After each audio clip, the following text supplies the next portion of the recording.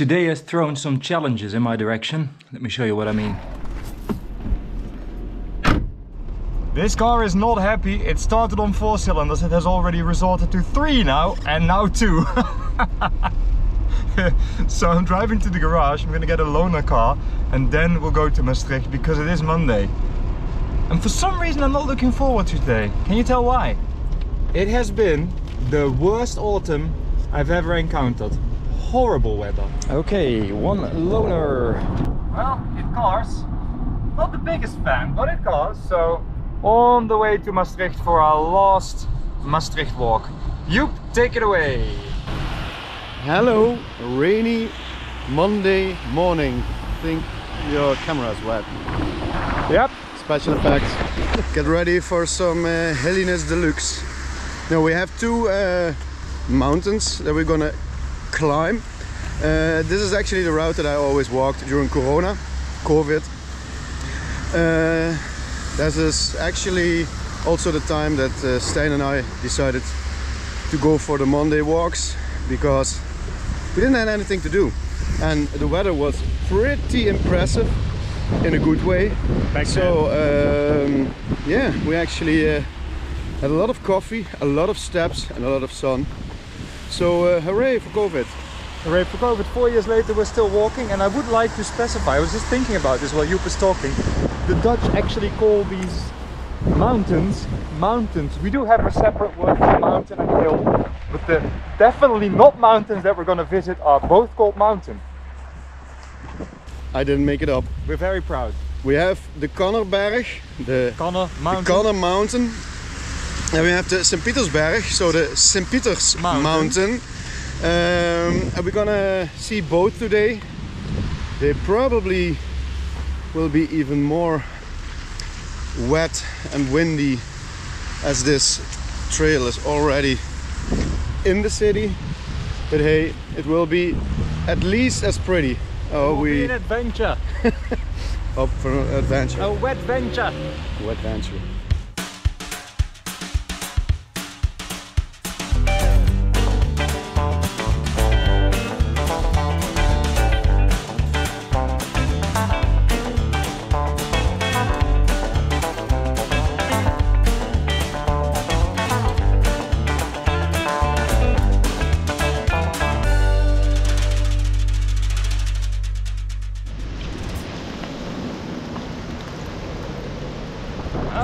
Oh my god, they killed Kenny.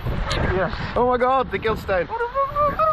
we are entering the new, recently opened gate of the Tongerseweg Cemetery. Oh. It's a lovely, lovely place. I actually love cemeteries. I'm the Rob Camps of Maastricht. Uh, let's go and see some dead famous people.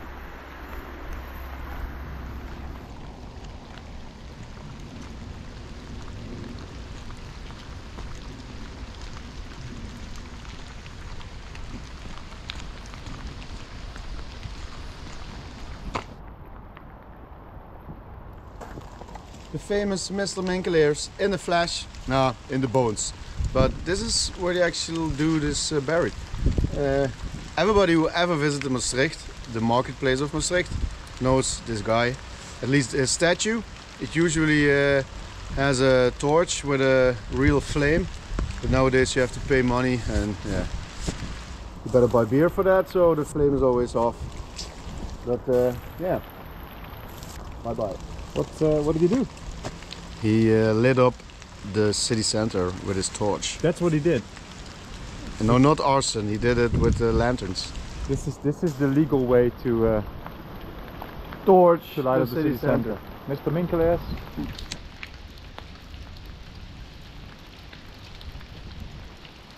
Joep in the meantime is doing some fact checking because he wants to make sure he got his facts right otherwise the people from Maastricht will fight him.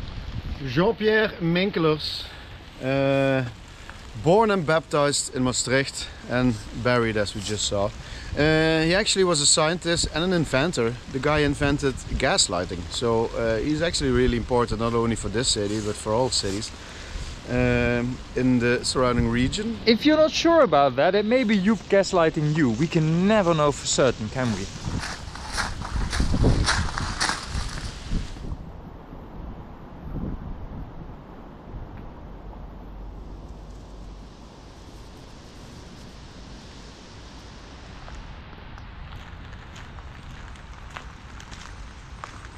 This must be the most remarkable grave ever. It actually translates here lies nobody until 2038.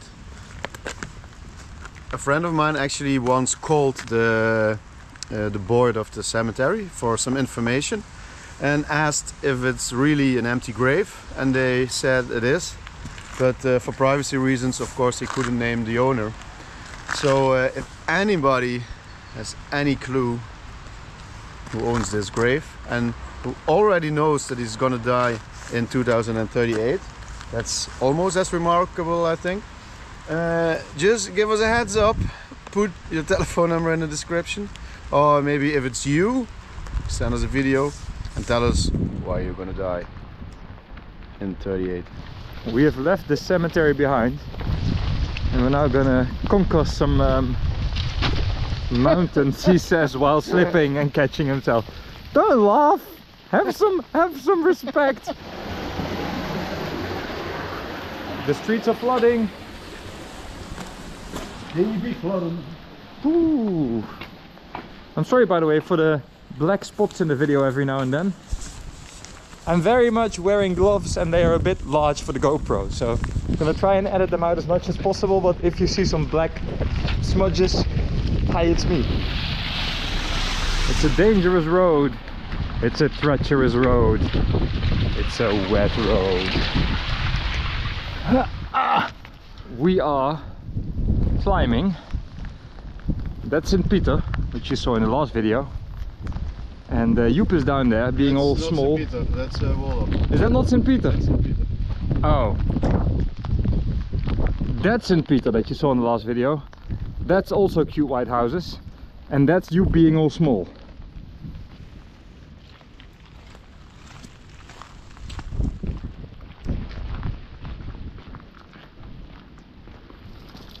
Welcome at the beautiful Apostelhoeve winehouse uh, since 1970. It's the biggest one in uh, Maastricht. I think also the biggest wine uh, producer in the Netherlands, but I'm not sure. But check this view. It's on the sunny side of the Cannerberg with a very nice view of the Mergelweg and the St. Pietersberg. We will go there later. There's also Chateau Neercanne. That's not a winemaker, but it's a restaurant. And very soon also a small hotel, but it's amazeballs. It's the only terrace castle chateau in the Netherlands. So very special. But first, the winery. Stan, you remember that story that I told you about uh, the Sphinx? Yeah, while we were there, yeah. Yeah, there was uh, a legend, that at least a friend of me once told me, that uh, the Sphinx had a really big um, uh, rebirth after uh, World War II because they had a depot just outside of Maastricht that was filled with porcelain uh, that was used uh, to rebuild a lot of things in the Netherlands. Uh, actually, if you look closely uh, at the right side of that white building over there, that was where the depot and I think a small factory, but I'm not sure, of the Sphinx was.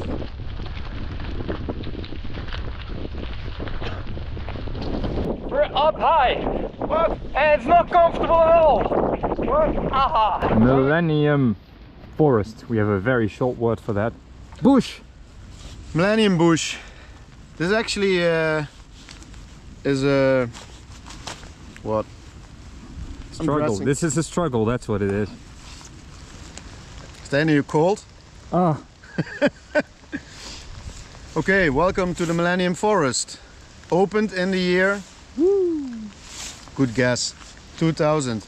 They actually uh, is an initiative of the local uh, broadcaster L1. They had the idea to plant uh, 365 trees in several regions in the in Limburg, uh, and they also did it here. There was a really big initiative here. At 4,000 people uh, gathered money, uh, and now are shareholder of the Millennium Forest. It's five hectares that was opened in 2000 but they actually added another 9 hectares of forest in the year 2013. Why?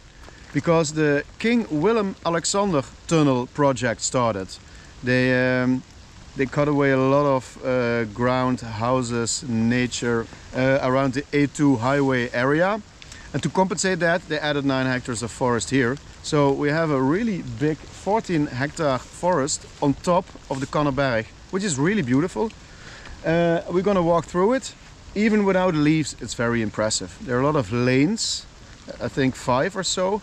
And with good weather, if you stand in the end of one lane and look through it, you can see a landmark in the end. If anybody sees the landmark, just give me a call because I only see more trees.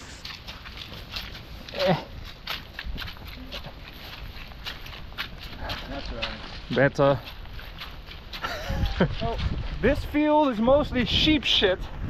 so we're trying to not slip in the mud, not step in the sheep shit. And in the meantime, the wind is blowing the very cold, icy rain into our faces. They did predict snow for tonight. So you can't, we don't have smell-o-vision. Smell is fine, by the way. You also don't have feel-o-vision. It's not comfy. This is, this is not what we want walking to be like at all. But today it is. I'm in a hole. And this hole was once used by uh, the first people to live or to settle in uh, the Maastricht environment. And this is where they stored their crap, which is very useful because 4000 BC. 4000 BC because that meant they could find a lot of stuff. Turns out these people were pottery makers. They made pots and they lived around this area. And what you see here, these these rocks, they sort of mark out the foundation of, uh, of, of some of the houses. So these are actually rooms. This is a room and this is a tiny little room. They were probably very tiny little people. And uh, yeah, but this is where uh, where the settlements in Maastricht started in 4000 BC. 5000 5000 BC. So we could have read that before we started this video, but now you know. Where are we going, Joep? Uh, Chateau Neercanne. Joep just said something he doesn't say very often. He said, I have no idea how to get there every time. Let's see if we get it right this time. So this is going to be exciting. We may get lost in a, in a forest. Are you Hansel or Gretel? I'm uh, Super Joe. Super Joe. Joep is still not sure if he's going the right direction, but it is indeed a lovely forest. And the camera doesn't really do it justice. I'm going to try to color it a bit in post, but the light is beautiful and warm here. And none of that bluish stuff you see I see on the screen. We're trying to find the chateau, because it's a beautiful chateau as well. Joep, my dude, you did it! I see a very recognizable roof there that apparently they're working on. That's a pity, but... They're building uh, seven chambers to sleep in. Right. At a small luxury hotel. So they're isolating the roof, I guess. I don't want to say this out loud before I'm on level ground again. So that's about now. I'm really happy with how my shoes are coping today. Ladies and gentlemen, Chateau Neercanne. And more Chateau Neercanne. Let's go there. this does not feel stable, but it's the best view we're gonna get. Unfortunately, there's scaffolding. We love to show you the gorgeous castle, but right now it looks a bit disheveled. But that is Chateau Neercanne. That is the St. Pietersberg with a coffee point marked by the chimney. And that there, is that Eben Emael? Yes, it is. That's Belgium, that is not the Maas. That is the canal.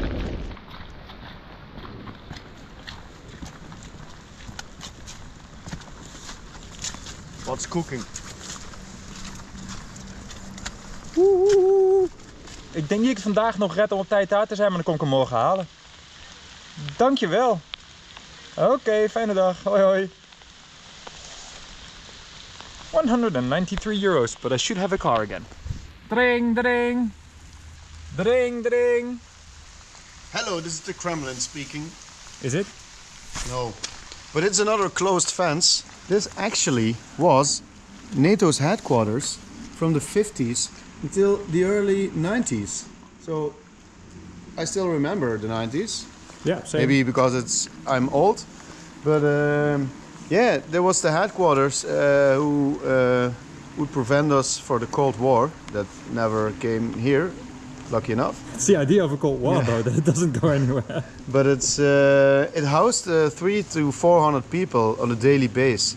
There was a restaurant inside. There was a bar. There even was a barber shop, a saloon, and a salon. Uh, uh, and a lot of offices. I was inside here, uh, I think last year or two years ago. There was an art project. You could enter uh, a, a really big part of the, the inside, and it was all lit. Uh, with green uh, lighting, so it looked really fancy. It actually also uh, had a big vault that housed the Rembrandt van Rijn uh, Night Watch painting. At least that's the story that they told me. So a lot of history inside the mountain as well. Neercanne, Millennium Forest, NATO Base. Uh, I think we covered the Kannebergstein. Let's go to the other side. The Koffieberg.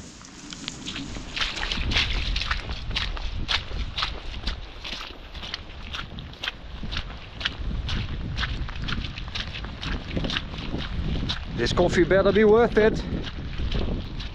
It is once more the Jeker River, at least we think so. It smells like the Yeah, judging by the smell, it can only be one river. That's the Millennium Forest we came from. There's a little NATO base, or large NATO base. And where are we going, Joep? to the St. Peter's Mountain. Woohoo! Scottish weather. Oh, shite. Shite! You just said if that coffee place is closed now, I'm gonna... What are you gonna do? I don't know, I'm too cold to think about that. Freeze then, probably. Mwah. Ha. Ha, it's the Devil's Cave.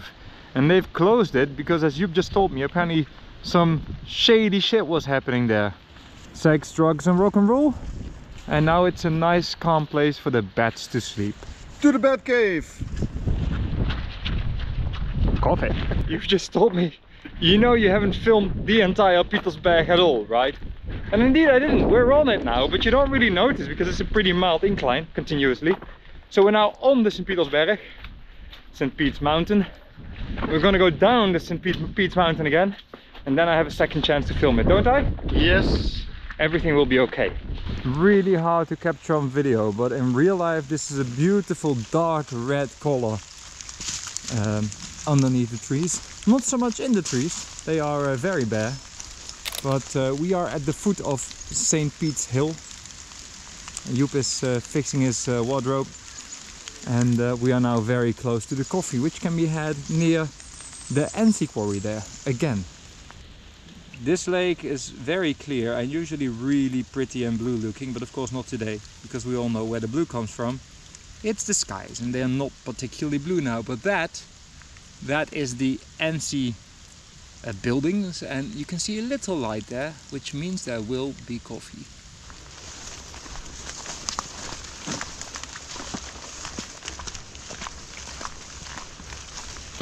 The little Citroen HY van is usually where we get our coffee, but that is closed now.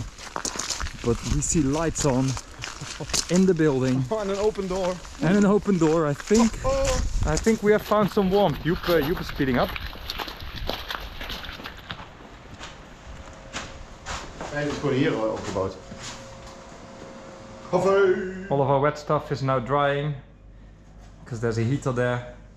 And we're waiting for coffee and cake because we deserve it, didn't we, Joep? I said I wouldn't get cake because I was like, I need something nutritious, but then I saw the cake. Then cake happened. Then cake happened. Whew! It's a toasty 19 degrees in here and my hair looks flat. Oh.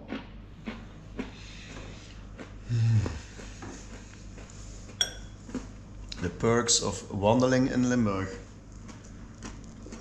This is as calm as we're gonna be. My hands are sort of warming up. I told them we would start walking again at 15 minutes past the hour. So Two minutes. Two minutes and counting.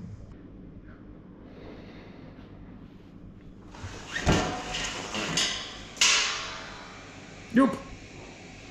We are carrying on. One last view of St. Peter's Mountain and then onwards. I managed to somewhat wear my gloves again. They seem to have shrunk somehow. I'm not sure what's going on. We used the, the hand dryer on the on the bathroom of the establishment. And while it was blowing into the glove, I put it on and it, it sort of worked. But they're not, they, they don't feel quite right. Maybe my hands grew very quickly. That would be okay. Although that would mean I now need new gloves. You just said he never walked up here. So this could be interesting. Or a dead end. This is a proper climb, Joep. Yes. Stretching the muscles. stretching the muscles. I must say, I'm surprised how easily I'm still walking after sitting down for probably a bit too long. I'm cold. What? I'm very cold now. It's cold. Yeah, it was nice and warm in there. Well, it was 19 degrees, but that seems very warm now. A waterfall. It's a lake. You wouldn't know it because everything is grey and miserable, but the sun is setting on Chateau Neercanne and we are looking at our walk that we took so far. But we're not there yet.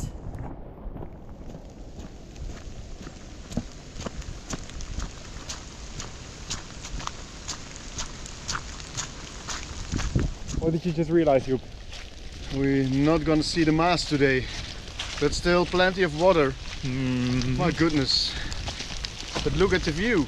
It's a gorgeous forest. Is this still the Millennium Forest? No, no, this I is was wondering. Pietersberg St. Pietersberg Forest, of course.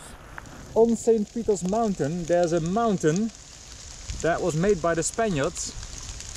We don't know this. We just Ages. we just read it here in the in the Middle Ages, and uh, apparently there was also a castle on this. But they only found foundations of the tower. Now looking at the size of this this hill, which isn't that large, could it be that it was only a tower? I don't know, but hey, it'd be a hill on a hill. Yo, dog, we heard you like hills, so we put a hill. You just had the luminous idea to uh, go down here, which is uh, a path made for bikes and horses, quite steep and quite muddy. Well, that, would, that will help us get down fast, I think. The floor is lava. The floor is lava.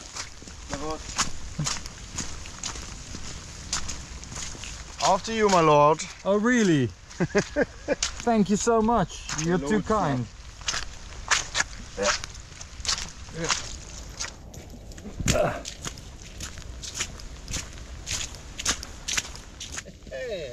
We made it. Mosquitoes for some reason. Yeah, it feels like summer, isn't it? After you, my lord. Okay, check out this map.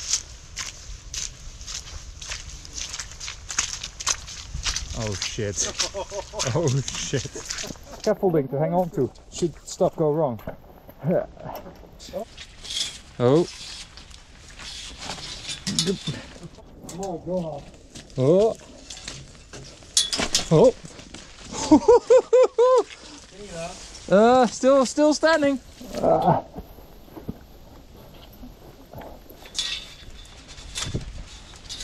There's one positive point to this. Jesus is coming soon. He's just waiting for the weather to uh, to dry. Also, I just found the limits of my gloves. They are now not wet on the inside Oh because my I touched God. the scaffolding. Yeah. Actually, uh, this is a very small, it's Hooverkan, very small winery. Actually, three here within uh, 200 meters, and a very nice old Reliant Scimitar. Hello. Winery, small one. We saw the Apostelhoeve on top of the hill. That's actually on that side, and we're going back to that direction. Follow me. There's more. Also, the raindrop just touched the screen and it's now changed the exposure. Sorry for that. so, like we said earlier, the Sphinx had a bit of storage here. And it's right there. We can't see it up close because fence. But that's a little factory. The usually calm and cute little stream that is the Jeker. It's not very cute and calm right now. We need a raft. Also, I don't think this is a very stable bridge, is it? Three, two, one, where we? Are you counting with me? One Number winery. Ha, ha, ha. We have uh, the smallest one, the rather big one, Hoevenekum. And Stijn, uh, look what's behind you, man. Wine! The Postelhoeve. We're back. Uh, we're actually climbing the steep, muddy side of the mountain now because it's the shortcut. And hopefully you enjoyed our shortcut just now. Yeah, our decline. Man, if this goes wrong, we are being mud monsters. It's all gonna go downhill from here. But it's downhill to beer, so that's a good thing. Also, it's uphill to downhill. Or is it downhill to uphill? Bye bye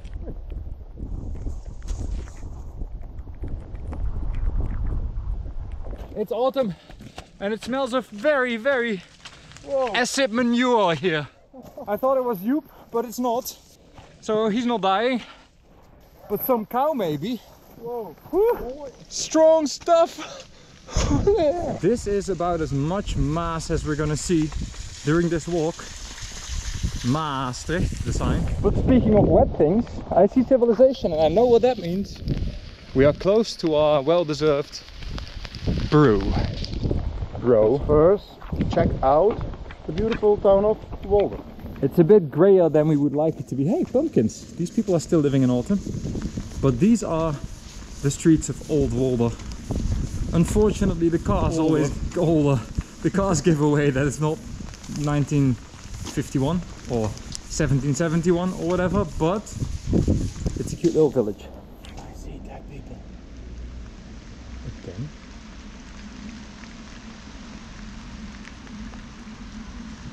But it looks like we made it, Joep. Made me thirsty. We tried to uh, to film a little more Wolder than we did, but the weather and the traffic and the building works didn't really allow, so we're going straight for the beer now. Provided it's open. What do you think, Joep? There's a light. Looks like a cafe to me.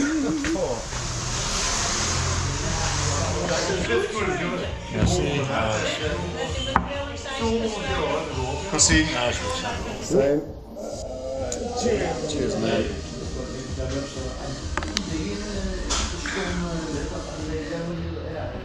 People of the internet, this is what a wet but satisfied man looks like. Oh, In an attempt to be social, we left our coats outside. So they wouldn't drip on the floor, but they're so cold now, you have no idea. let's go. Let's go. We had a beer. You had two beers. I had a beer and a coffee. Let's go. It got worse. It got much worse. Switching to mobile phone because the GoPro cannot handle the dark. This is a really cute bit though. I also can't handle the dog. Ugh, I can't handle the Oh, it's the rain. all the same. There's a very cute bit with some old houses here. We would have loved to show you properly, but of course we were, we were too busy drinking beer. What, what did you find? Elections. Elections? Elections. Oh, it's a red pencil of our elections. Um, the good news is Pencil of doom. this, this is definitely after these last elections. This is uh, close to Joep's house, so we are just walking for a bit. How long? 15 minutes?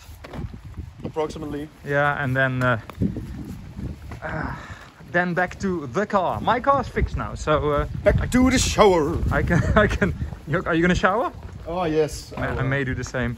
My car is uh, gonna be picked up tomorrow because obviously the garage is closed now. It's 5:30. It was a nice walk though, you wasn't it? It actually was. It's, H- How are we gonna uh, do this outro with no light? Let's give it a shot. I'm gonna have to use this camera. Okay, what do we have to say? Uh, if it wasn't for this video, I would have stayed home. Uh, yeah. No, that's actually not true. We would have walked. We would have stayed in town. This is all for you, viewers. Home. Home. We would have stayed in, in Maastricht City. I was walking in my home. I'm not gonna lie, I did enjoy the walk. There was loads of variety. The leaves were beautiful. We had a nice coffee and cake. We had a And there was no one out. That was. We were literally. We, Still. s- we saw maybe four people, and they were in groups of two. No, two runners and and a group one of two runner. walkers. Yeah. And we saw uh, three. one uh, couple, but it was uh, still in civilized uh, part of uh, nature. Yeah, we went way too far, but we had a good time. We had a good walk. It was healthy. My nose is all clean now. Oh, let's hope for autumn. Next, let's hope for autumn. Uh, I mean uh, spring. yeah, right. We got winter first, but um, Oh, the good news is, if the weather report is correct, which it never is, there's a little bit of sun next week. So with that, yeehaw! are we crossing the border to Belgium? Yes, we are. Next week we'll be in Belgium. Crossing borders. Here we go. Bye bye bye.